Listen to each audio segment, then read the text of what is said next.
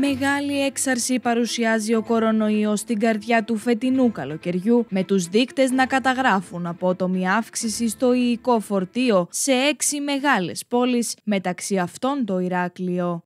Τα νέα περιστατικά, τα, οι νέες εισαγωγές είναι περίπου 600, ενώ αντίστοιχα πέρυσι ήταν γύρω στα 200 ο αριθμός των ε, νέων εισαγωγών. Άρα καταλαβαίνετε έχουμε μια πολύ μεγάλη αύξηση σε σχέση με πέρυσι, αλλά και σε σχέση με, την προηγούμε, με τις προηγούμενες εβδομάδες που ο μέσος όρος ήταν γύρω στα, στις 400 εισαγωγές. Πρέπει λοιπόν ο κόσμος να προσέξει, πέρα από το ότι δεν υπάρχουν ε, νομοθεσία ή απαγορεύσεις, πρέπει να προσέξουν τις επαφές, ειδικά τις ευπαθείς ομάδες, στα γυροκομεία, ε, στο σπίτι, τον παππού, τη γιαγιά. Δεν πλησιάζουμε όταν έχουμε συμπτώματα.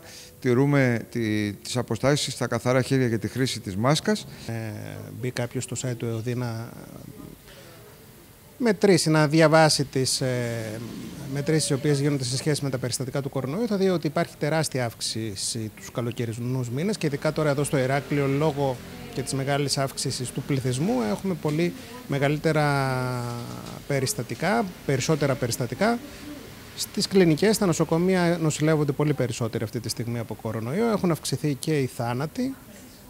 Και στο φαρμακείο βέβαια φαίνεται αυτό και στο επίπεδο της πώλησης ε, τεστ ε, ή φαρμάκων τα οποία συμπτωματικά ε, προσπαθούμε να αντιμετωπίσουμε αυτή την ασθένεια. Η κατάσταση δεν αποκλείεται να επιδεινωθεί, καθώς ο ΕΟΔΗ στην επιδημιολογική του έκθεση έχει καταγράψει μια αρκετά ανησυχητική αυξητική τάση στο μέσο εβδομαδιαίο οικοφορτίο του SARS-CoV-2 στα αστικά λίμματα έξι περιοχών από τις 10 που ελέγχθηκαν από το Εθνικό Δίκτυο Επιδημιολογίας Λιμάτων. Στην περιφέρεια μάλιστα παρατηρούνται την ίδια ώρα αυξημένες νοσηλίες παρά τα αντι που χορηγούν οι γιατροί, τα οποία ωστόσο λόγω της αυξημένης ζήτησης παρουσιάζουν έλλειψη. Σαν φαρμακοποιός κοινότητας λοιπόν, πίσω από τον πάγκο σε καθημερινή βάση, θα σας πω ότι όντως παρατηρούμε μια προοδευτική αύξηση των κρουσμάτων ήδη από τα τέλη Ιουνίου, σταθερά κλιμακούμενη.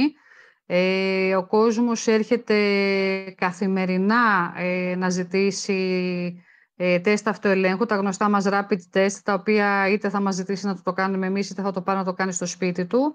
Ε, εδώ με απογοήτευση θα πω ότι σε ένα μεγάλο ποσοστό αυτών ε, δεν υπάρχει αναφορά για το αν είναι θετική ή όχι. Συνεχίζουν να κυκλοφορούν χωρίς μέσα πρόληψη στην κοινότητα.